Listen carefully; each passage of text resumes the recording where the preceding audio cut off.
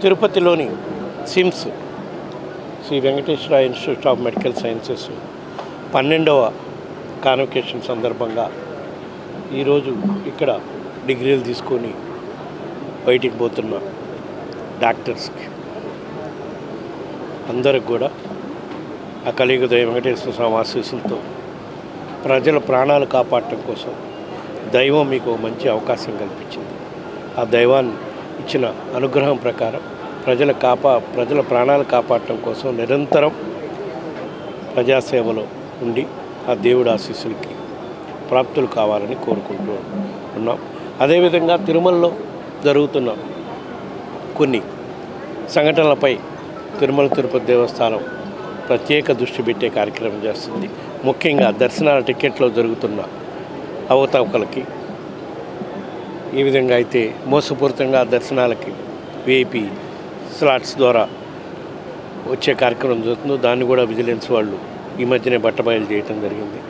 అదేవిధంగా ఈ నకిలీ వెబ్సైట్ల ద్వారా కూడా కొంత దుష్ప్రచారం జరుగుతుంది. నకిలీ వెబ్సైట్ ద్వారా టికెట్లు బుక్ చేసి వాళ్ళని ప్రజలను భక్తులను మోసం చేసే కార్యక్రమం కూడా మా దృష్టికి వచ్చింది. అందుకే చాలా నకిలీ నకిలీ వెబ్సైట్లు కూడా మా విజిలెన్స్ విభాగము ఐటీ సైబర్ సెక్యూరిటీ విభాగం సపరేట్గా ఉంది కాబట్టి వాళ్ళు తక్షణమే చర్యలు తీసుకొని అవన్నీ కూడా రద్దు చేయడం జరిగిందని చెప్పి సందర్భంగా పద్ధతి కరెక్ట్ కాదమ్మా. సులభ కార్మికులు టీటీడీ ఎంప్లాయీస్ కాదు. కార్మికులు ఉద్యోగస్తులు కానీ ఒక ఎన్జిఓ ఆర్గనైజేషన్ దగ్గర పనిచేస్తున్నారు. ఎవరైనా సరే అక్కడ పనిచేస్తున్నా సరే భక్తులకు సేవ చేస్తున్నారు దేవుడి సేవలో ఉన్నట్టుగానే మేము భావిస్తాం అందరూ భావిస్తాం. కానీ ఆకస్మికంగా నోటీస్ ఇవ్వకుండా సమ్మెకి చేయటం అనేది ఇటువంటి బెదిరింపు ధోరణి మంచి పద్ధతి కాదు. ఎందుకంటే మనందరం దేవుడి సేవలో ఉన్నాం భక్తుల సేవలో ఉన్నాం. భక్తులకు ఎంతగా మెరుగ్గా సేవ చేయగలిగితే అంత మనకు పుణ్యం పురుషార్థం వస్తుంది.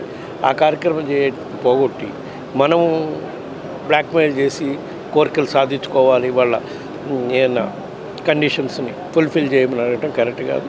వాళ్ళు సమ్మె విరమించి వస్తే యాజమాన్యాన్ని పిలిచి సులభ యాజమాన్యాన్ని పిలిచి మాట్లాడటానికి మేము మా అధికారులు ఎప్పుడూ రెడీగానే ఉంటామని చెప్తాం భద్రతకు సంబంధించిన డిఫెన్స్ హెలికాప్టర్స్ అని మాకు నిర్ధారణ అయింది.